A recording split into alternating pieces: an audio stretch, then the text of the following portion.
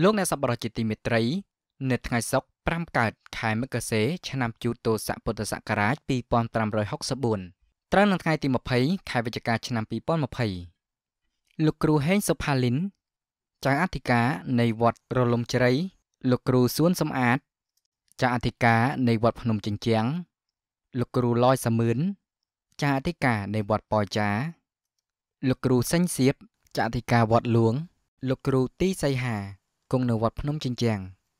បាននិមន្តទទួលផាត់នៅវត្តប្រាសាទស្រះកណ្ដាលខ្ចាស់ឃុំបោះស្បូវស្រុកបន្នេព្រះខេត្តបន្ទាយមានជ័យបន្ទាប់មកព្រះអង្គបាននិមន្តទស្សនកិច្ចនិងប្រឹក្សាយោបល់ផ្សេងផ្សេងជាមួយនឹងព្រះមហាធម្មលង្ការោច័ន្ទសជនដែលជាព្រះគ្រូចាតិកានៃវត្តនេះផ្ទាល់ក្នុងថ្ងៃដដែលនេះពុទ្ធបរិស័ទដែលអញ្ជើញមកពីរាជធានីភ្នំពេញមានសទ្ធាជ្រះថ្លាបានចូលរួមបំពេញបុណ្យកុសល និងថ្វាយបង្គំពុទ្ធស្ថាននានា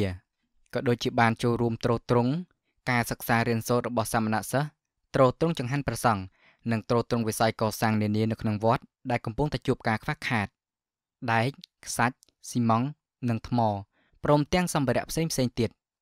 សូមប្រគេនទូលថ្វាយសម្ដេចព្រះដេចគុណអាយុដំលោកជំទាវលោកលោកស្រីអ្នកនាងកញ្ញាឧបាសកឧបាសិកាគ្រប់រូបទាំងអស់ឲ្យបានជ្រាបថាក្រោមការដឹកនាំរបស់ព្រះមហាធម្មមេលង្ការោច័ន្ទសជន មានគោលការណ៍3យ៉ាងធំធំគឺអប់រំផ្សព្វផ្សាយនិងកសាង ដើម្បីជាប្រយោជន៍ដល់សង្គមជាតិនិងព្រះពុទ្ធសាសនារបស់យើង ជាចុងបញ្ចប់នេះយើងខ្ញុំទាំងអស់គ្នាជាអាចារ្យគណៈកម្មការ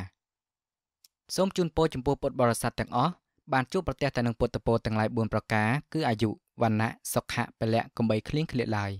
សុខោបញ្ញសៈឧចយោការសន្សំបុណ្យរមែងនាំអនុសេចក្តីសុខសូមអរព្រះគុណនិងសូមអរគុណ